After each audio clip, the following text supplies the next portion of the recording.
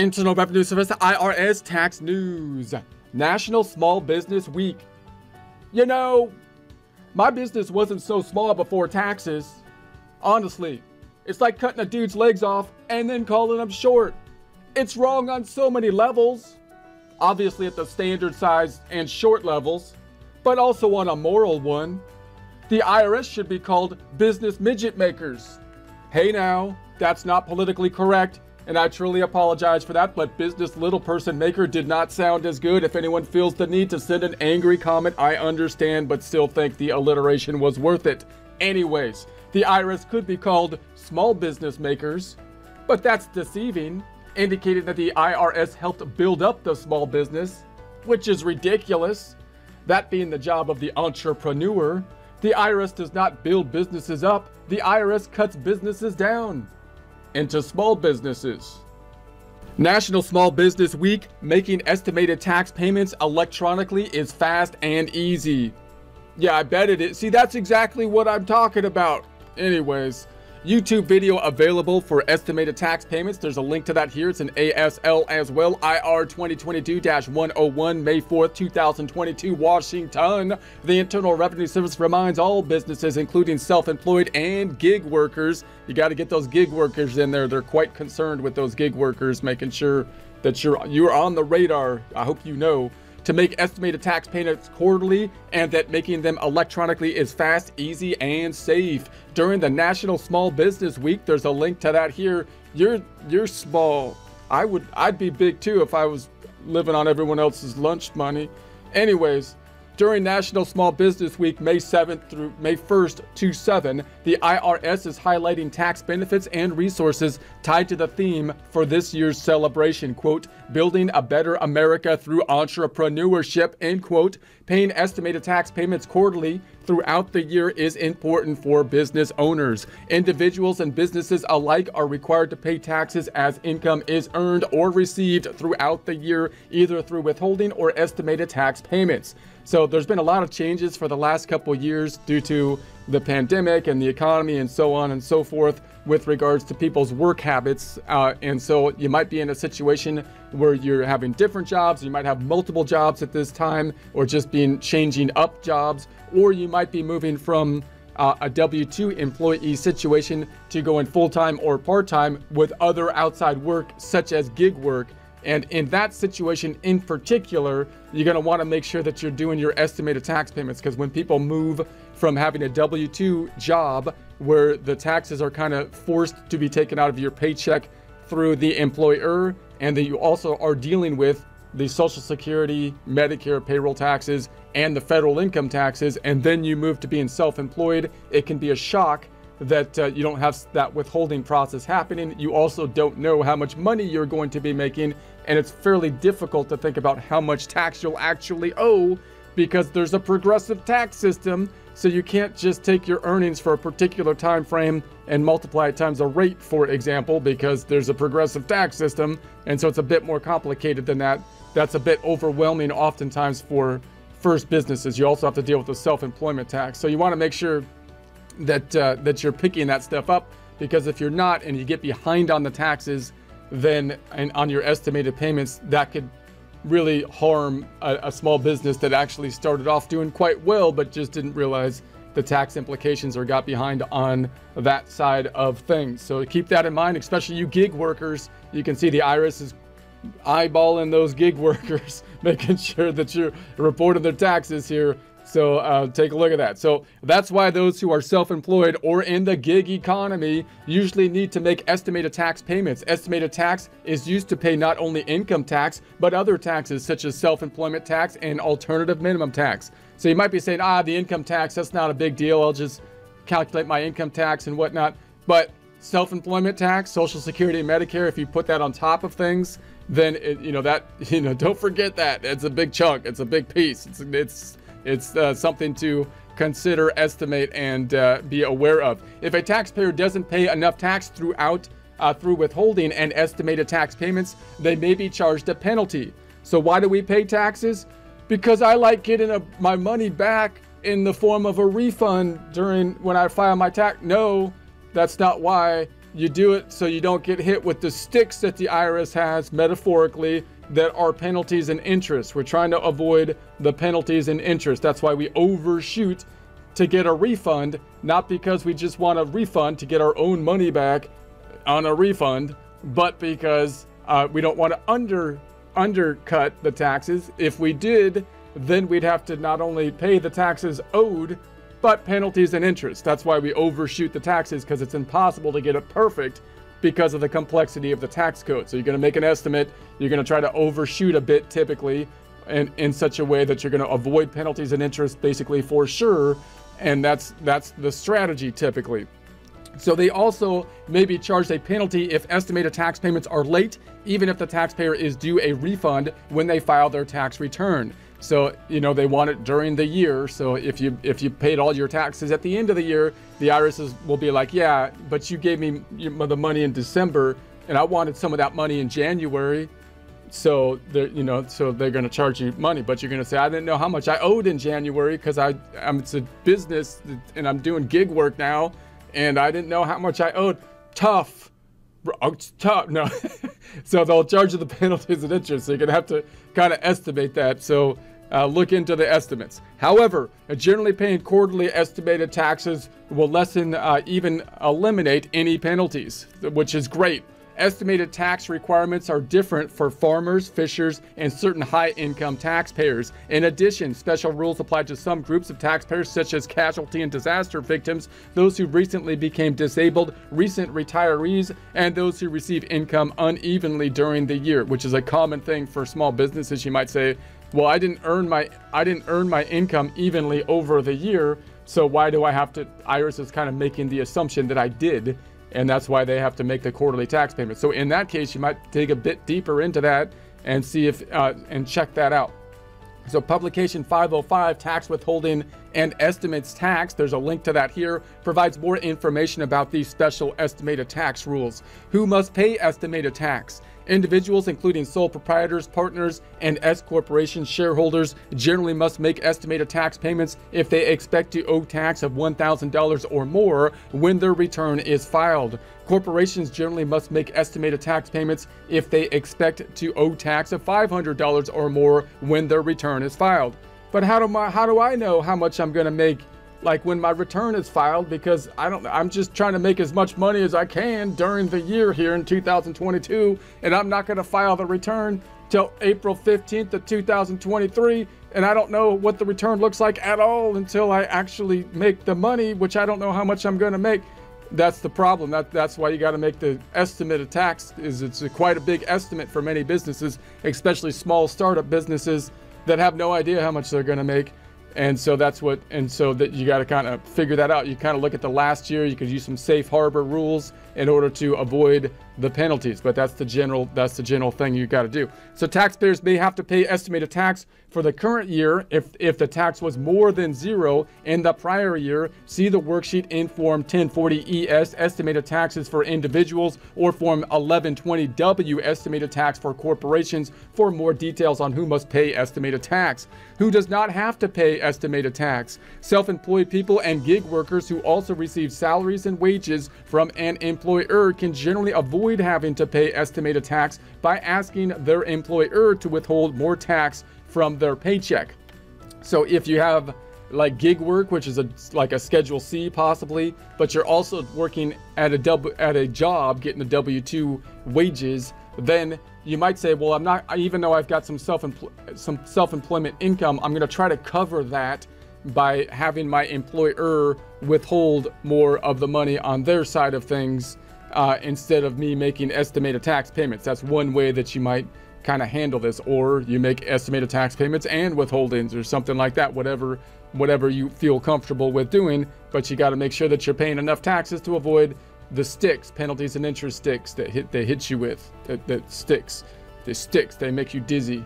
So this usually requires the filing of a new form W W4 employees withholding certificate so you can figure out the new W4 stuff with the employer. Remember that the employer is not going to help you out with that typically because they're required to do the withholdings, but they're trying to avoid the any any kind of uh, any lawsuits or something by giving tax advice. So you got to usually do your own research on the W-4, figure it out, then give it to the HR department on your business and so on. A special line on the form W-4 allows taxpayers to enter an additional amount to be withheld. So you got to figure that out. Taxpayers receiving a paycheck can check the withholding tax estimator, which is basically a, and there's a link to that here. It's basically going to be a a like a tax software to help you to figure out what these estimators are, which you need kind of like tax software to do because uh, the code is confusing and getting more so, and it changes a lot, and it's doing that more too.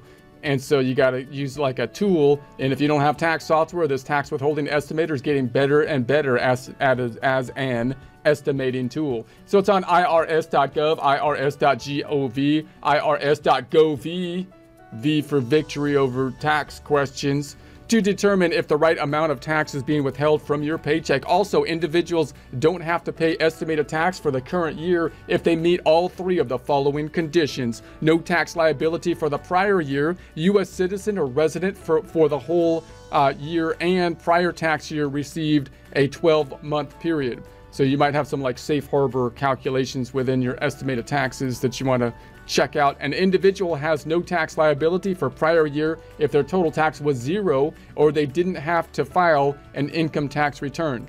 So in other words, the in order to kind of figure this question of, well, I have no idea how much I'm going to make in 2022, the IRS could say, well, we're going to look at last year and basically give you and and say, well, you know, if you if you follow some rules to to uh, based on the prior year income, then you might have, that's what I'm th- talking about with these safe harbor type of rules uh, to avoid the penalties and interest. So that even if you owed some taxes, possibly uh, you can avoid the penalties and interest if you if you basically based it on a prior year estimate or something like that. So you can take a look at that in more depth. So additional information on how to figure estimated tax is available in publication 505, Tax Withholding and Estimated Tax. There's a link to that here. How to figure estimated tax. Individuals, including sole proprietors, partners, and S corporations, shareholders, generally use Form 1040-ES, estimated tax for individuals. There's a link to that here to figure estimated tax. To figure estimated tax, individuals must figure their expected adjusted gross income, the AGI, taxable income taxes, deductions, and credits for the year. So you basically have to do a full tax return you know, without the actual information like the W-2s and stuff to do it. You got to do a whole estimate here. So when figuring estimated tax for the current year, taxpayers will often find it helpful to use income, deductions, and credits from the prior year as a starting point. So note, estimated taxes are a lot easier if your income is stable throughout the, the time frame and the tax code is stable throughout the time frame and the economy is stable throughout the time frame and there's not a lot of inflation throughout the time frame and so if those four things like were stable, then it would be a lot easier. And if the tax code was easy, like if all those stuff was stable, but like I'm pretty sure like one to five of those five are unstable right now, making it a little bit more difficult to make estimated taxes, possibly in the current conditions than in prior periods, also making estimated taxes more important to keep on top of, given the dancing landscape, the changing circumstances, the evolving situation. Corporations generally use Form 1120W, estimated tax for corporations, to figure estimated tax. When and how to pay estimated tax, you might ask. For estimated tax purposes, the year is divided into four payment periods. So you got the four quarters, four payment periods that you got to pay the estimated taxes in. You might say, well, I pay more when I have my W 2 income because I get paid every week on that and they take my money out every week. Well, yeah, they take more out because you get paid whatever the pay period is when you're a W 2 employee. But if you have to actually write them a check, then they'll break it down into the four payment periods. Four payment periods. Why? Because it sounds good. Four payment period.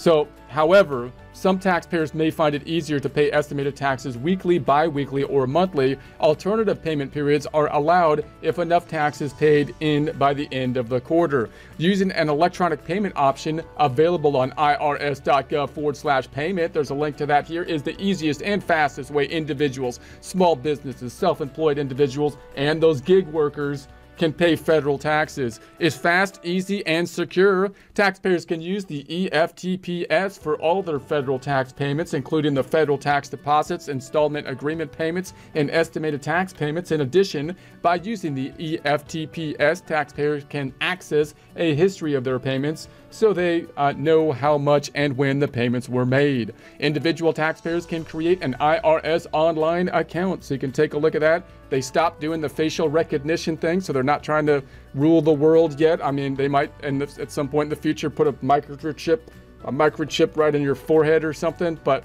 right now, they backed off a little bit on that kind of stuff. So you could get onto your account there uh, and you get some information. So to make the, you can help you make your estimated tax payments there using their account. Taxpayers can see their payment history, which is nice. You would think, you know, that would be nice. You would think they can get the online account up and running. I've got a bank account that can do it without my facial recognition or chipping my forehead or anything. So you would think the IRS can get that thing up and running, and they're getting better at it, but they're a little slow. It's a little slow. I mean, obviously. So any pending payments and other useful tax information can be found there. Individual taxpayers can also make an estimated tax payment by using IRS Direct Pay. There's a link to that here. Individual and business taxpayers can also make an estimated tax payment by using debit, credit card, or digital wallet. There's links to that here. The 2022 Form 1040ES Estimated Tax Individuals, there's a link to that can help taxpayers estimate their uh, first quarter tax payment. While electronic filing is, is uh, strongly encouraged, taxpayers may also send estimated tax payments with Form 1040-ES by mail. So not really recommended. Obviously, the IRS doesn't like it, but what are you trying to do? You're trying to avoid penalties and interest. If I get that check mailed out in the mail before the due date and I follow all the rules, then you might say, hey, I'll just send them a check in the mail and hope that they can't open it because of all the COVID restrictions and nobody actually in the office and everybody working digitally and they don't cash the check for like five years or something like that. Maybe that'll happen. But, you know, I still, so you, in, in other words, if the IRS is giving you money in a refund, the electronic payment is probably better or something you would like more because you want to get paid faster. You want the money sooner. If you're paying them, and you're going to send them a check in the mail and they can't open it because they're short on staff and elder staff can't go into the office without a gas mask on or something like that, then they might not be able to get to the check for a while and that might not be a bad thing for you. But I still like to pay electronically because I like to see that it cleared, it didn't get lost in the mail and all that kind of stuff. So I still pay electronically, but just something that I thought thought I'd talk about because I feel like rambling a bit. Corporations must deposit payments using the EFTPS. Additional information is available in Publication 542 Corporations 24 7 help at irs.gov. And we know what the secret code, when they say that, really what they're saying is please don't call us. We really don't want to talk to you, nor do we have the capacity to talk to you. If you have any questions, visit the website irs.gov, irs.gov, V for victory over tax questions, hopefully. Small business owners, self employed individuals, and gig workers will find valuable resources at irs.gov. So, not on the phone, that's not where you're going to find valuable resources. It's on the website. Eh, but the website is available 24 7, amazingly enough. They're able to keep that thing. All the people that are working together to, to make keep that page from crashing, they do that 24 7. The resources include publications, forms, tax products, and tips to help small business owners avoid tax troubles and succeed. The IRS is also reaching out to taxpayers in other languages throughout online resources for small businesses and individuals. The IRS has posted translated tax resources in 20 languages on irs.gov, irs.gov, V for victory over tax. For information, you could see we speak your language which they really don't because even if you're an English speaker, they're speaking they're speaking IRSEs, legalese. That's not how normal. That's not normal person speech. Resources, small business tax workshop. There's a link to that here eight interactive lessons designed to help new small business owners learn their tax rights and responsibilities. The workshop is available in English, Spanish, Chinese, simplified Chinese, traditional Korean, Russian, Vietnamese, and Haitian Creole. More information about the workshop is available on the IRS YouTube channel. There's a link to that here. We got the Self Employed Individual Tax Center, a resource for sole proprietors and others who are in business for themselves. This site has many useful tips and references to tax rules a self employed person may need to know. The center is available in English, Spanish, Vietnamese, Chinese, traditional Chinese, simplified Korean, Russian, Haitian, Creole. Small Business and Self Employed Tax Center uh, features links to a variety of uh, useful tools, a downloadable tax calendar, ooh, a tax calendar with all the tax dates on it. That's important. I'm gonna get, I'm getting one of those, and a common forms with the instructions. So the center is available in multiple languages, once again, much of which look to be the same languages we've repeated twice already. So e-news for small businesses, a free electronic mail service that offers tax information for small business owners and self-employed individuals, including reminders, tips, and special announcements. Gig economy center, they're focusing in on you gig economy people. Aren't you special? Aren't you lucky? The IRS has got their spotlight on you you spe- you lucky people helps people quickly find answers to tax questions as well as helpful tips and tax forms for business taxpayers. It's, it's also available in multiple, multiple languages. Social media channels, information for small businesses is also available through various IRS social media channels, including tax tips and other resources. There's links to all this stuff for small business, for the small businesses here, and there'll be a link to this in the description.